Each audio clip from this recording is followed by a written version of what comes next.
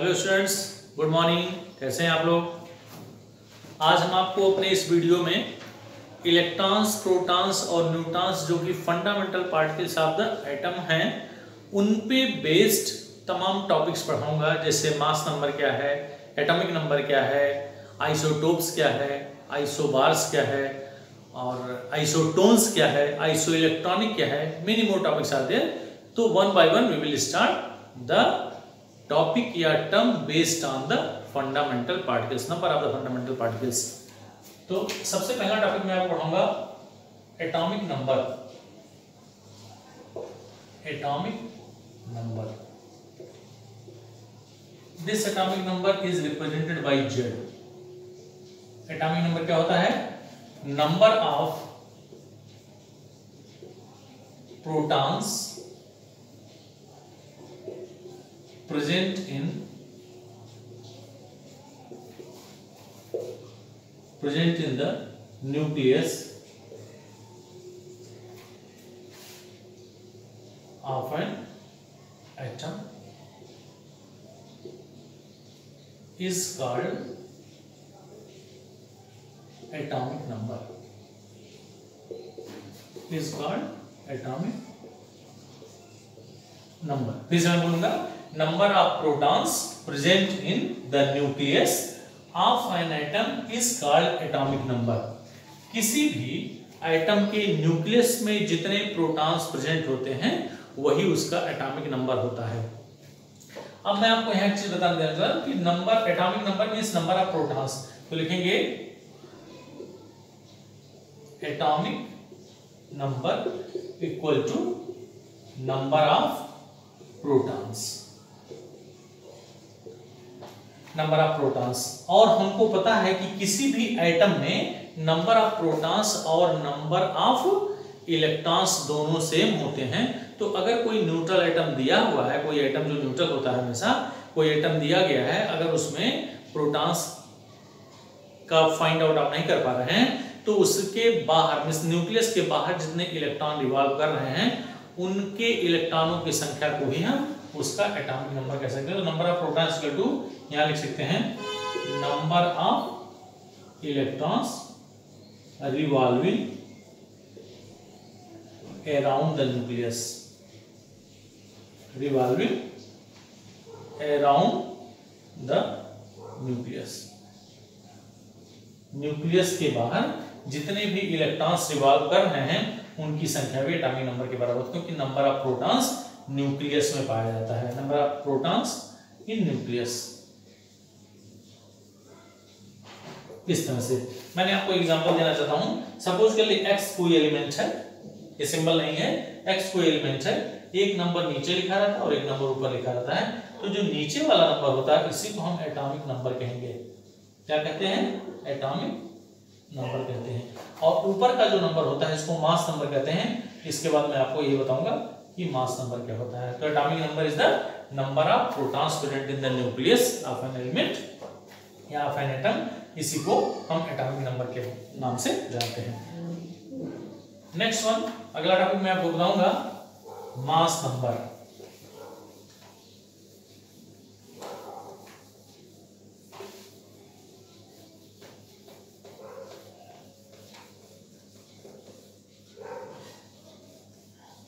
आइए देखते हैं what is mass number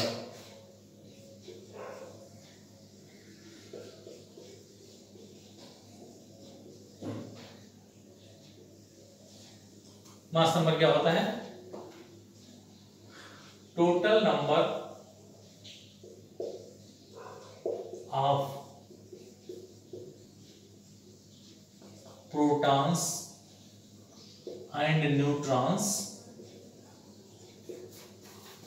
present in present in the nucleus of an atom is called mass number is called mass number इस mass number को हम A से define करते हैं मास नंबर जो होता है ए स्मॉल ए कहीं कैपिटल ए भी दिखते हैं। A is equal to number of protons plus neutrons protons और न्यूट्रॉन्स के टोटल सम को ही हम मास नंबर के बराबर कहते हैं। अब इसमें एक चीज़ मैं आपको बताऊँगा कि mass number is approximately equal to atomic mass atomic mass के लगभग बराबर होता है एटॉमिक मास ये कैसे होगा? क्योंकि मास नंबर जो होता है नंबर इंडिकेट करता है। इसका मतलब होगा proton plus neutron equal to mass number लेकिन अगर हम एटॉमिक मास की बात करें तो प्रोटॉन प्लस न्यूट्रॉन और प्लस इलेक्ट्रॉन पिछले वीडियो में मैंने आपको बताया था कि the mass of the electron is very very very less which can be taken as negligible, जिसे हम negligible point zero zero zero five four eight six M होता है, जिसकी वैल्यू बहुत कम होती है, इसलिए P प्लस एन और यहाँ this is approximately equal to P plus N plus E तो इसलिए हम कहेंगे कि mass number is approximately equal to atomic mass जैसे यहाँ एग्जांपल बता दूँ आपको, अगर हम किसी भी एलिमेंट की बात करें, किसी भी एलिमेंट जैसे मान लो हाइड्रोजन का मास नंबर वन हो गया और इसका एटॉमिक मास 1.008 ये ध्यान दीजिएगा कि 1.008 इज़ द एटॉमिक मास और 1 is the mass number of the hydrogen तो इस तरह से आप जाने इस टॉपिक में मास नंबर क्या होता है।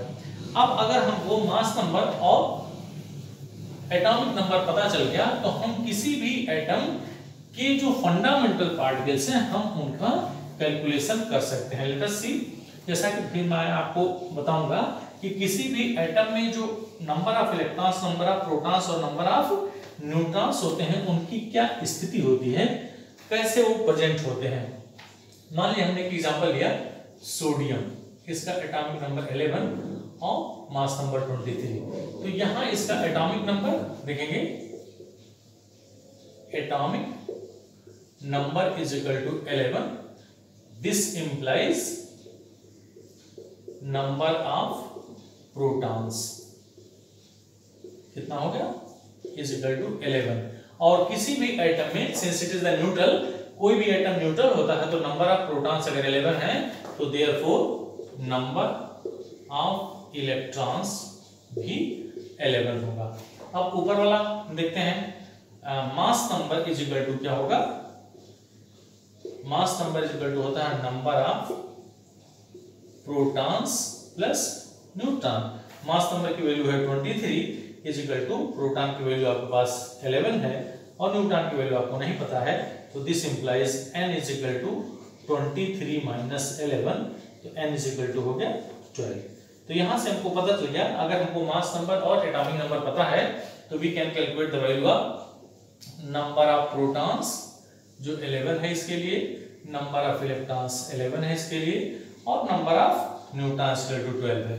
तो इसका जो मैं फ्यूचर में या बाद में अगले वीडियो में आपको बताऊँगा कि अगर हम इसका इलेक्ट्रॉनिक कन्फिग्रेशन करें सोडियम एटॉमिक नंबर 11 इसका इलेक्ट्रॉनिक कन्फिग्रेशन करें तो 2 8 एंड 1 ये बोर एंड बरी के रूल के हिसाब से है।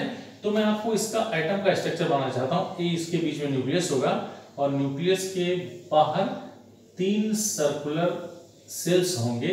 या एनर्जी लेवल्स होंगे। इसी को इलेक्ट्रॉनिक कन्फिग्रेशन के थ्रू मैं आपको बताना चाहता हूँ।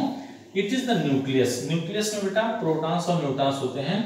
तो यहाँ 11 प्रोटॉन और 12 न्यूट्रॉन हमने मेंशन कर दिया। और इसके बाहर तीन सेल दिखाई दे रहे हैं। तीन एनर्जी लेवल दिखाई दे रहे हैं।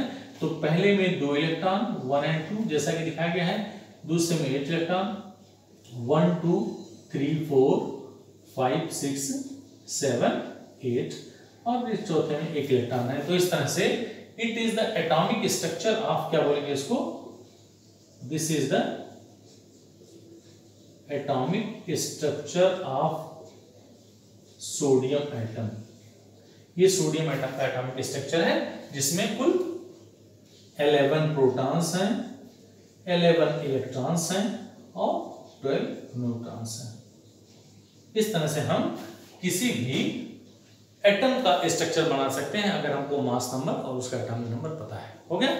अब इसके बाद अगला टॉपिक बेटा मैं आपको बताऊँगा, जो भी नंबर ऑफ़ इलेक्ट्रॉन्स प्रोटॉन्स और इलेक्ट्रॉन्स पे डिपेंड है, इसमें आइसोटोप्स आइसोबार्स आइसोटोन्स और आइसो इलेक्ट्रॉनिक के नाम से जानते हैं। One by one I will tell the definition and example both चलिए देखते हैं, अगला टॉपिक क्या है? आइसोटोप्स हो सकता है इस टॉपिक को आपने अलग अलग बोर्ड के पिछली कक्षाओं में पढ़ा हो, किसी किसी बोर्ड में पिछली कक्षाओं में होगा आइसोटोप्स आइसोटोप्स का मतलब होता है समान स्थान वाले। तो कहेंगे, atoms of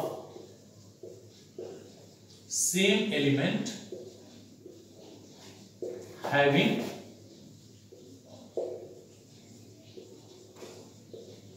same atomic number but different mass number are called are called isotopes देखिए, क्या लिखा हमने?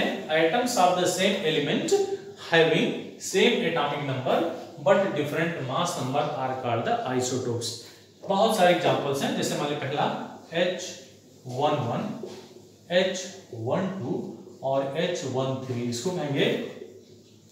This is known as the hydrogen this is known as the deuterium या इसको कहेंगे ट्राइट्रियम अगर हम इसमें ये चीज़ देखें हाइड्रोजन में number of protons is equal to बेटा होगा one, number of electron one होगा और नंबर ऑफ़ न्यूट्रॉन ज़ीरो होगा। One minus one is two zero. इसमें देखेंगे तो नंबर ऑफ़ प्रोटॉन वन होगा, नंबर ऑफ़ इलेक्ट्रॉन वन होगा ही होगा, और नंबर ऑफ़ न्यूट्रॉन होगा two minus one is two one. और यहाँ होगा number of proton is equal to one, number of electron is equal to one, और number of neutron is equal to three minus one is equal to two. अब जरा गौर से देखिए कि हाइड्रोजन पूरे पीरियाडिक टेबल में हाइड्रोजन ही एक ऐसा एलिमेंट होता है H11 जिसके न्यूक्लियस में न्यूट्रॉन्स नहीं होते हैं। इसलिए हाइड्रोजन के न्यूक्लियस में केवल और केवल प्रोटॉन होता है। तो इसके अलावा बहुत सारे एग्जांपल्स फिर मैं एक एग्जांपल यहाँ दिख दे रहा हूँ। अगर हम इसका दूसरा एग्जांपल लिखें तो carbon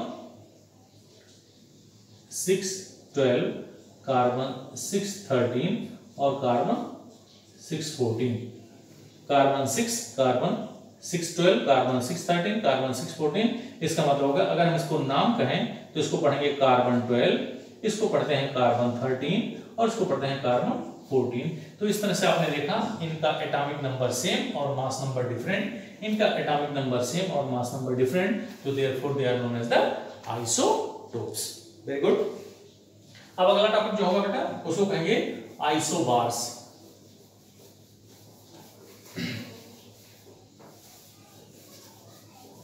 ध्यान से देखेंगे। आइसोटोप्स आइसोबार्स इस पे बहुत बार क्वेश्चन पूछा जाता है। और बोर्ड एग्ज़ाम में इसका डेफिनेशन भी पूछा जाता है, लेकिन इसमें हमको न्यूमेरिकल्स लगाने के लिए पूछ दिया जाता है। उसको अगर आप जानेंगे, तभी आप इसका न्यूमेरिकल सॉल्व कर सकते हैं। क्या है? आइसोबार्स आइसोबार्स क्या होगा? अगर इसका डेफिनेशन कहें atoms of different atoms of different element having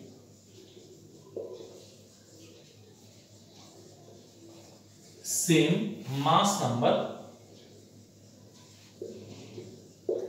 but different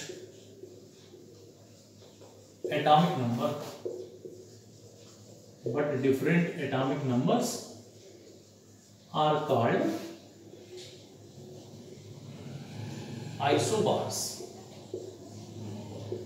फिर से मैं कहूँगा atoms of different elements having same mass number but different atomic numbers are called the isobars मतलब ऐसे एटम जो डिफरेंट एलिमेंट्स के हों, जिनका मास नंबर तो सेम होता है, लेकिन उनका एटॉमिक नंबर डिफरेंट होता हो, उसी को हम आइसोबार्स कहते हैं। एग्जांपल मैं आपको बताऊँगा। एग्जांपल क्या होगा?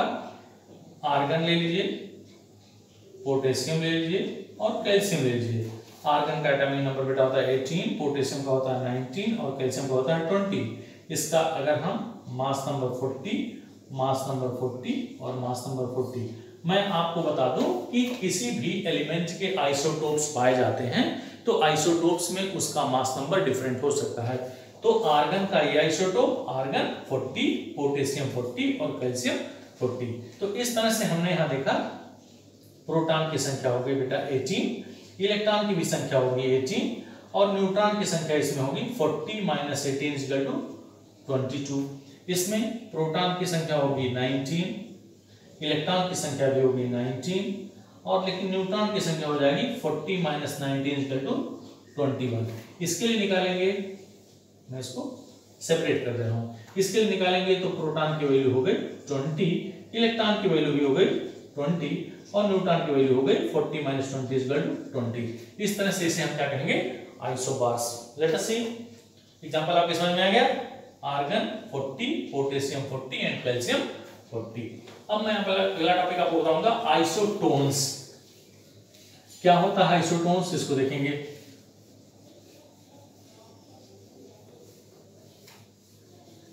आइसोटोन्स का मतलब होता है कि ऐसे elements atoms of the different element having same number of neutrons in their nucleus are called isotones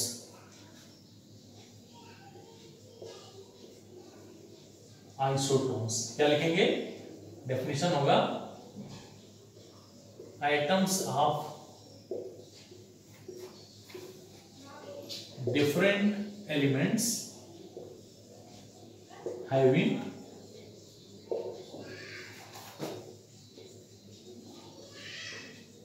same number of neutrons present in their nucleus called are called isotones are called isotones जैसे example हमने लिया isotones में क्या करेंगे? फिर से example argon potassium और calcium argon का अगर हम एटॉमिक नंबर ले लें एटॉमिक नंबर होता है 18 इसका एटॉमिक नंबर 19 और इसका atomic number 20 let us see अब हमको अगर आइसोटोन्स का एग्जांपल लेना है तो इसका एटॉमिक नंबर कितना होता है? 20 और मास नंबर होता है 40 इसका एटॉमिक नंबर 19 और मास नंबर हमने 39 लिया और इसका मास नंबर हमने 38 लिया।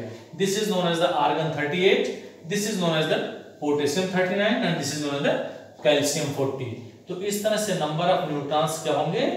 38 minus 18 is equal to 20 number of newtons equal to 39 minus 19 is equal to 20 और number of newtons is equal to 40 minus 20 is equal to 20 तो आपने देखा कि सारे ही एलिमेंट के न्यूक्लियस में 20 20 न्यूटॉन्स हैं therefore they are known as the isotones कैसे समझ में गया?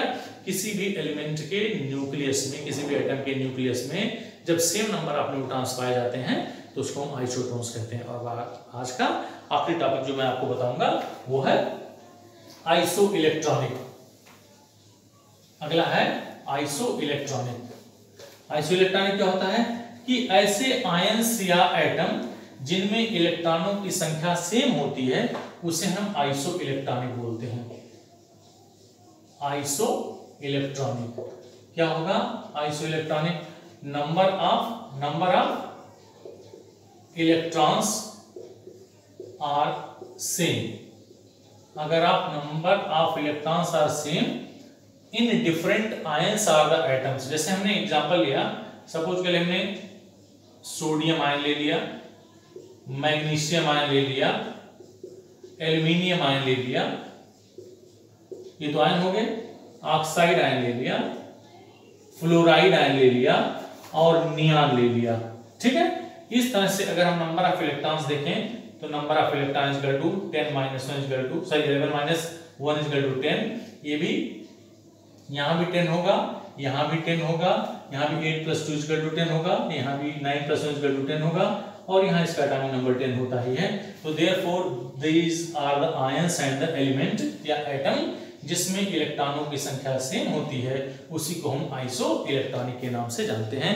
तो these were the topics based on the fundamental particles which are present into the atom अब अगले टॉपिक में या अगले वीडियो में मैं आपको डिफरेंट एटॉमिक मॉडल जैसे मैंने आपको टॉमसन्स का एटॉमिक मॉडल और अदर फोर्ड का एटॉमिक मॉडल बता दिया। अब इसके बाद मैं आपको नील बोर का एटॉमिक मॉडल बताऊँगा और उसके बाद धीरे धीरे आपको अगले वीडियो में नया नया टॉपिक मिलता जाएगा। Thank you so much